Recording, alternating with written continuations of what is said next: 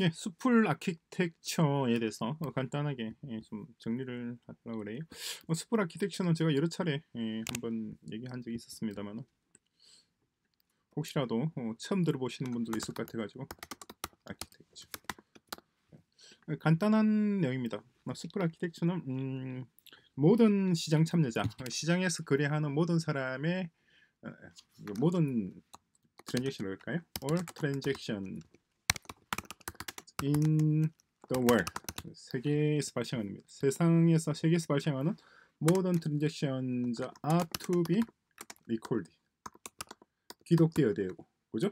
어, and those records라고 할까요? those records should never be forged 모든 거래는 기록되고 기록들은 절대로 위조나 변조나 수정될 수 없도록 하는 거예요. 그게 수풀 아키텍처입니다.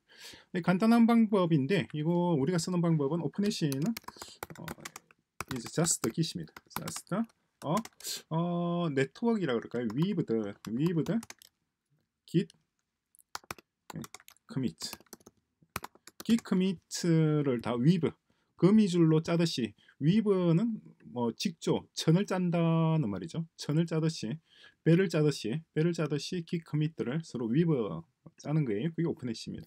그 짜는 방법인데 짜는 방법이 이제 수풀과 한 수풀이에요. 그래서 인구 예를 들어서 대략 한 5천 명, 약 5천 명입니다. 한, 꼭 5천 명이라는 것이 아니라 약 5천 명의 인구마다 하나의 수풀을 구성을 하는 거예요. 이게 수풀이에요. 수풀. 수풀은 음, 숲이란 뜻이죠. 어, 그냥 숲 숲인데 제주도 말로 숲풀이라고 불러요. 다른 지역에서도 숲을 숲풀이라고 부르는 곳이 있을지도 모르겠습니다만 하여튼 제주도 말에서 부르는 표현입니다.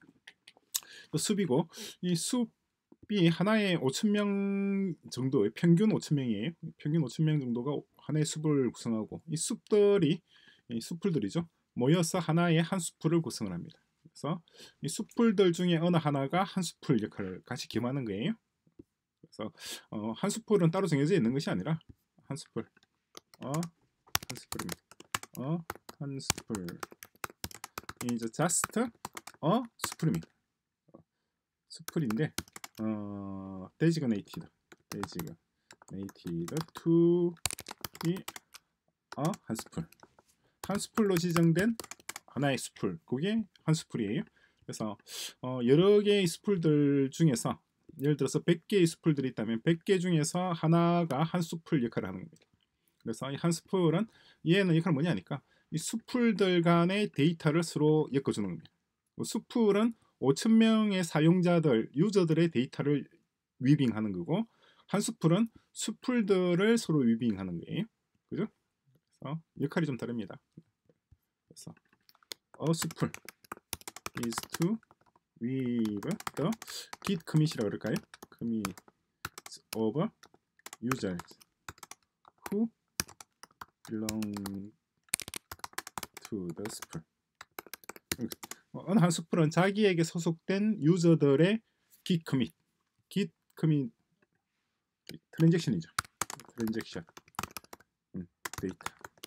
트랜잭션 데이터들을 서로 위빙하는 게 스프레이 컬이에요. 그 git commit 을 서로 엮는다라고 보시면 됩니다.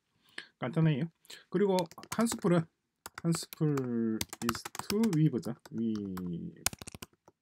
그다 어, 수풀 which to the 한 수풀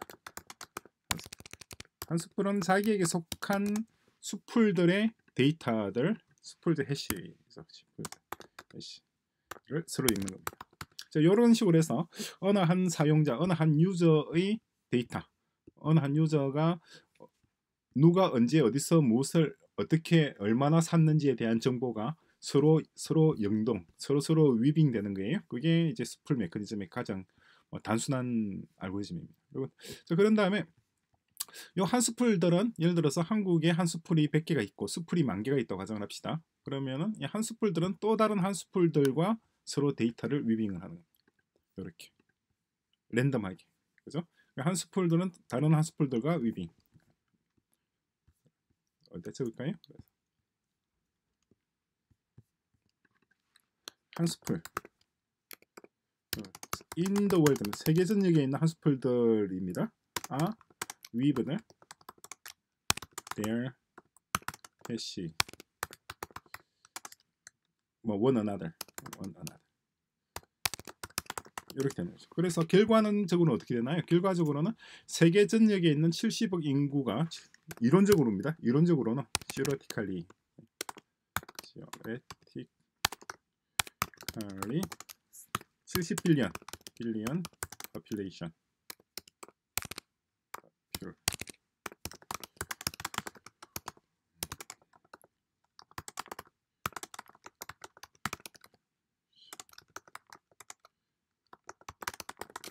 렇게 되는 거죠. 결과적으로 70의 인류가 모두 다 서로가 서로의 데이터를 위빙하는 거죠. 그래서 어느 한 명의 데이터를 위조나 변조하려면 나머지 69억 9,999만 뭐 99명의 데이터를 같이 위조 변조하지 않고서는 불가능하다는 게 구성을 한 겁니다. 이게 어, 이게 기본적인 구성이에요. 그러면 이제 어떤 식으로 구체적으로 어, 구체적으로 어떤 식으로 이 데이터 weaving이 되느냐라고 하는 건데 모든 유저들 all transaction all transaction 아 어, 제출되는 거죠.